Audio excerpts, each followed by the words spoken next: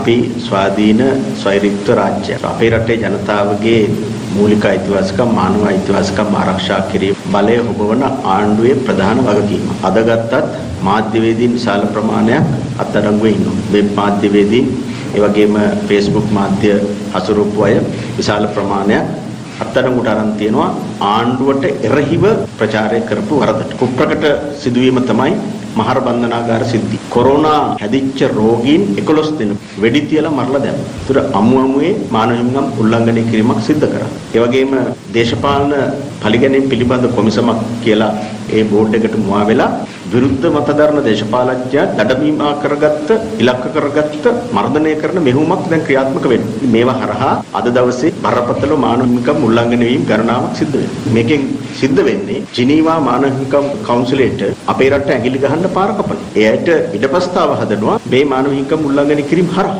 ඉතින් ඒක තමයි දැන් මේ සිද්ධ වෙමින් යන්නේ. පහුගිය ආණ්ඩුවක වර්තමානෙත් හැමදාමත් බලය හොබවන ආණ්ඩු විසින් රටේ ජනතාවගේ මානව හිමිකම් උල්ලංඝනය කරාම අධිරාජ්‍යවාද බලවතුන්ට හැකියාව ලැබෙනවා අපේ රටේ අභ්‍යන්තර ප්‍රශ්න වලට ඇඟිලි ගහලා මැදිහත් වීමක් කරා. ඉතින් අදත් ඒ දේ හිම්මම සිද්ධ වෙනවා. දිනපතා අලුත් වීඩියෝ සහ ප්‍රවෘත්ති නැරඹීමට ඉහත බටන එක ක්ලික් කර සියත TV සබස්ක්‍රයිබ් කරන්න.